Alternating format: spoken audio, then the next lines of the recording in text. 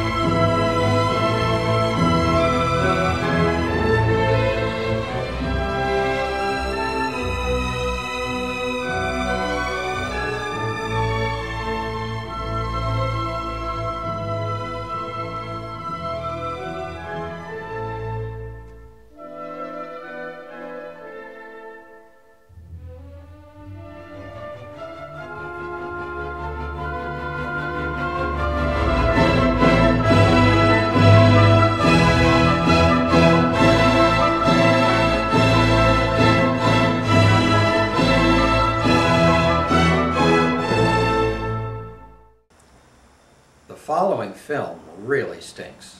It's garbage. I used to live next door to this kid, and he was. Have you been wronged? Has, someone, Hurt you? Been mean? Then call us at the law offices of Morgan Freeman. No, he's not a lawyer, but he sure sounds like one. And he'll get you justice. And my word is law.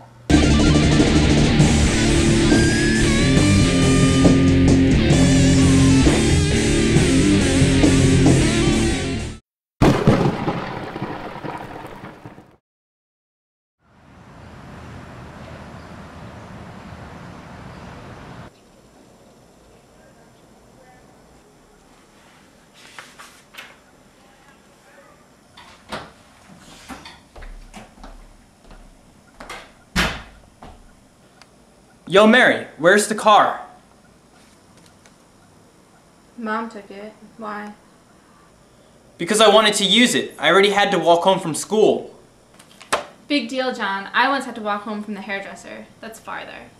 Great, what do you want? A medal? Yeah. Alright, let's go!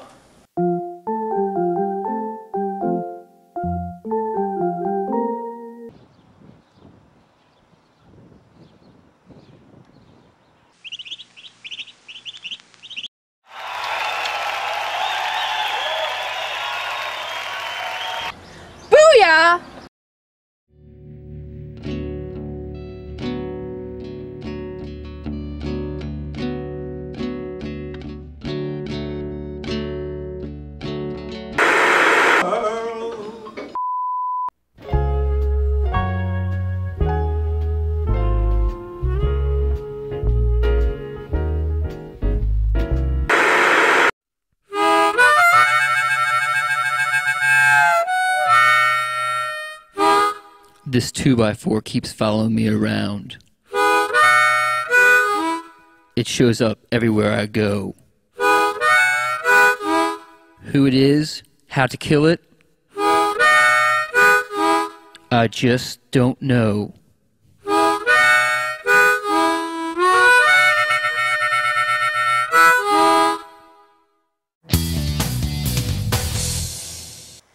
Give me the money, Vader!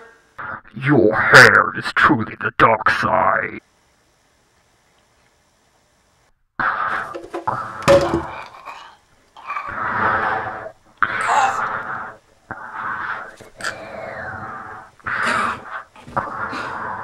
Holding up Darth Vader is a really bad idea. You know your friends are mean when a game of pin the tail on the donkey ends like this.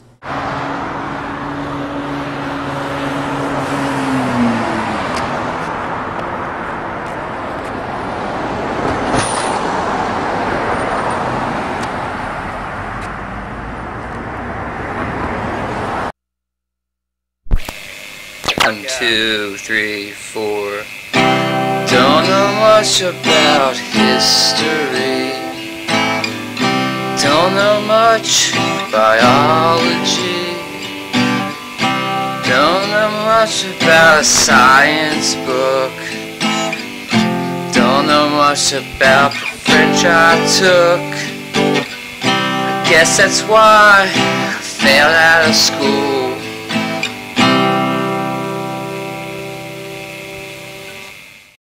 We're not inviting Dracula.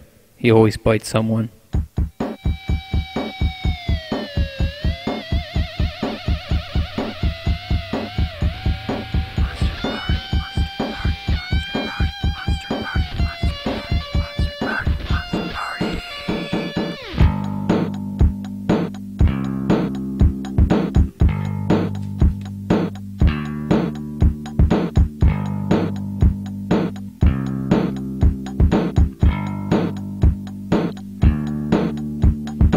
Woke up late for work and I'm really tardy. Was up all night prepping for my monster party. It's Friday night and I want to have fun. Gonna turn the sucker out before the day is done. Monster Party. Monster Party. Monster Party. Monster Party. Wolfman's chillin' and the mummy's getting loose. Good old Swamp Thing ate all my chocolate mousse.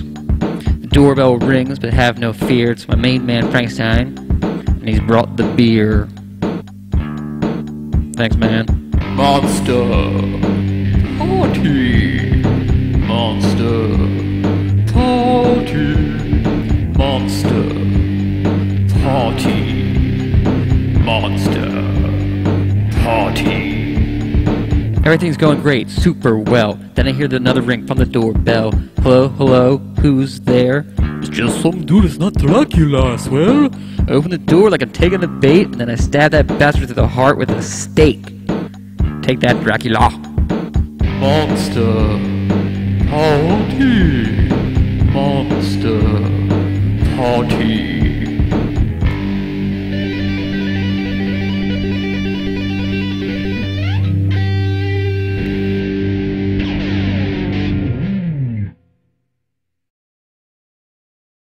And now, a random aside from KMX.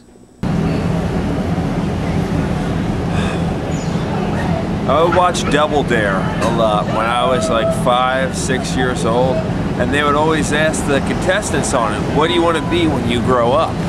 Got to thinking, what if that was one of the questions you could get right or wrong on the game show? You know, what if there was like, what would it be? I think, you know what? They can only do that in Russia. They can only do that in a country where they tell you what you want to be when you grow up. So I came up with this sketch called Communist Double Dare. And I actually, I performed it when I was a senior in high school. It took about seven years for it to come around, but it was worth it.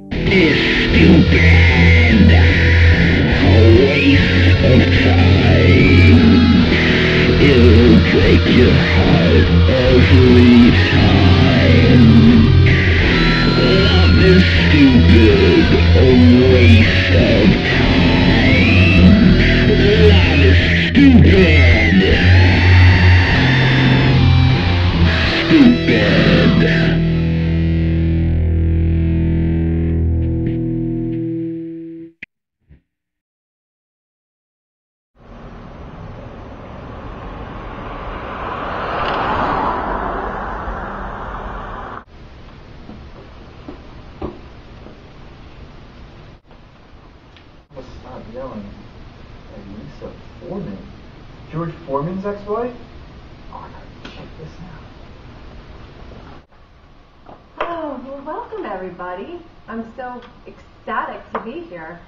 Um, my name is Lisa Foreman, as you know. Um, I'm not related to George Foreman, nor was I ever married to him.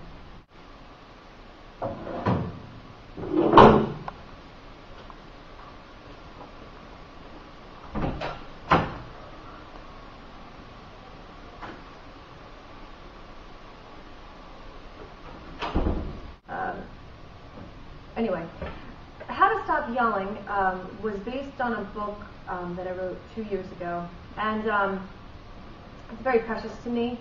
And um, I've, I've had a very horrible anger management problem um, in my life, and uh, mostly yelling at my husband and my little kids.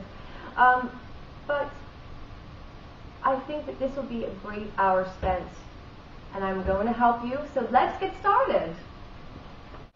I got bills to pay. I got people knocking on my door. I'm getting things in the mail that aren't even for me. I don't know where to go in life. Talk quietly. Say it again. Say it again. I got things to things to say to people. Nobody mm-hmm. ever. What's your name? Bill. I hate my life, I hate my job, I hate my wife, my kids are annoying, they're always asking me for money, and I hate my wife too because she asks me for There's not been other guys on the team. It's like they don't even play. They don't even Shut get up. in there. I come in here. I don't know where I am. I don't know what time it is. I don't know what if it's day or night, and I, I, I don't even know where I parked my car. And I'm Uh, just it's probably in the parking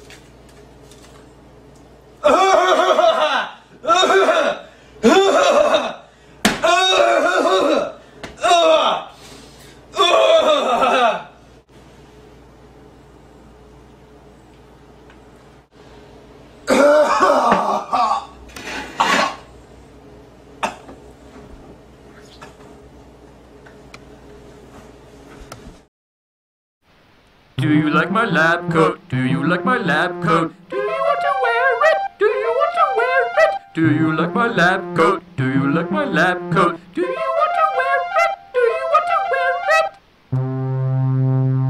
The next thing you know, he's on the roof. No one's put out the fire.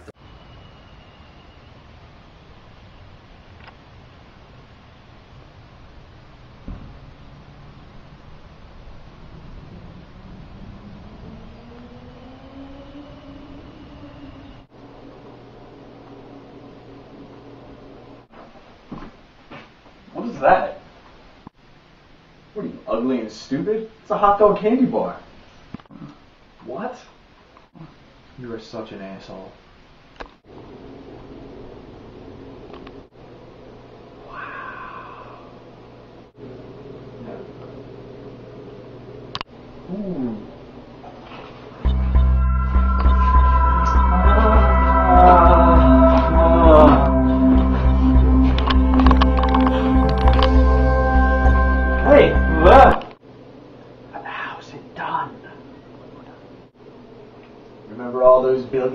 Spent on the space program?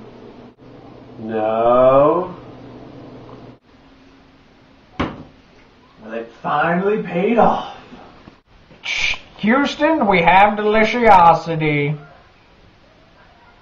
Roger, Texas, that's one tasty snack.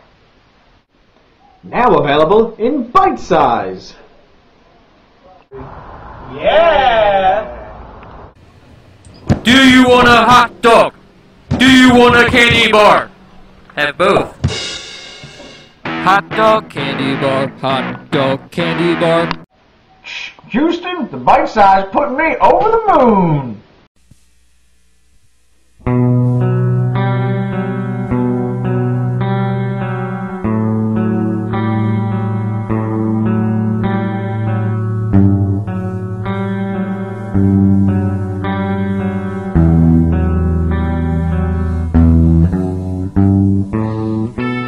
You're 15.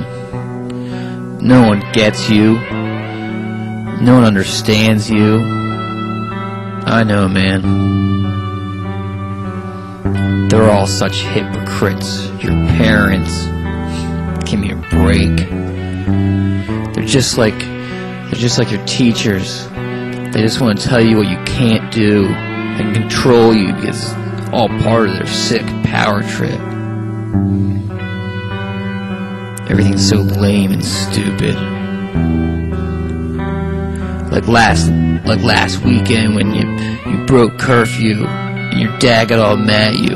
Like he never broke curfew when he was 15. What a hypocrite. Everything sucks. And your girlfriend, she never lets you just hang out with your buddies. Probably gonna have to let her loose. You gotta have your freedom. It's just a matter of muscling through the pain. You'll be alright, bro. Don't worry.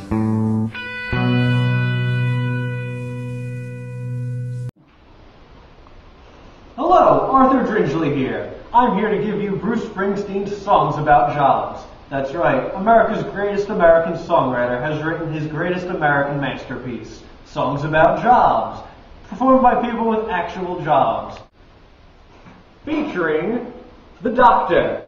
I googled your symptoms, and the good news is you're gonna be okay. But you got an eighty dollar copay. Copay.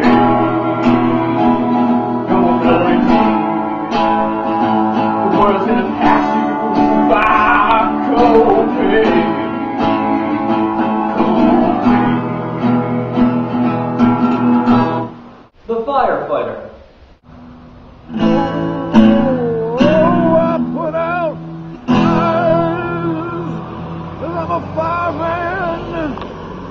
The Used Car Salesman. Oh, oh, oh, I'm a liar. The Plumber.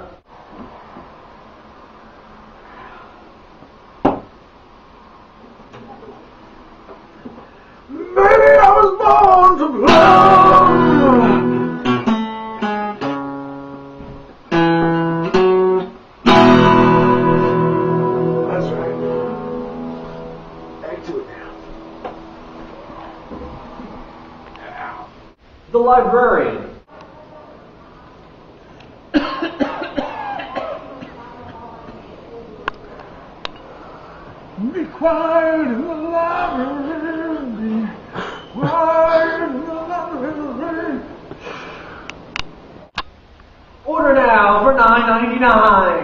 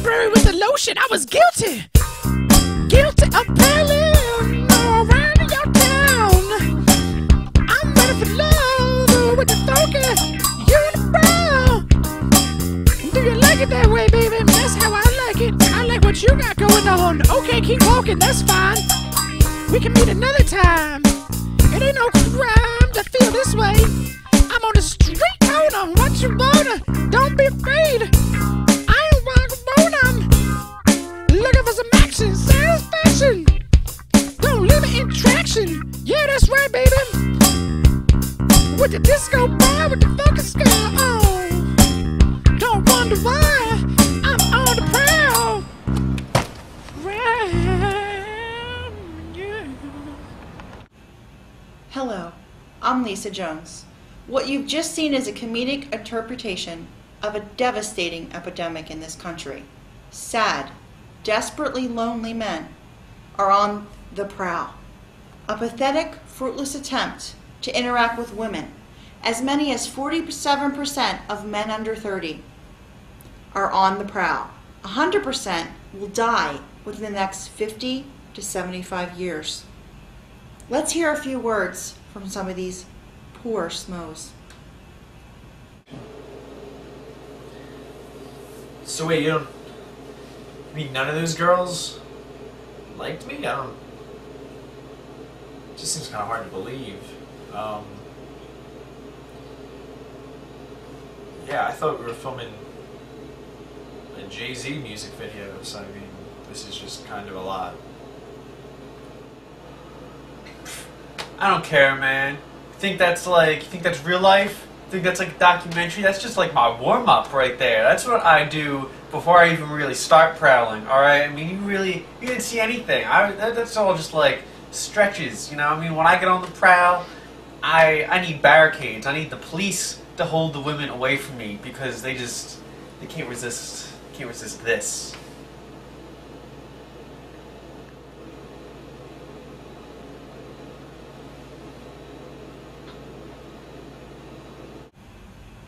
Absolutely devastating.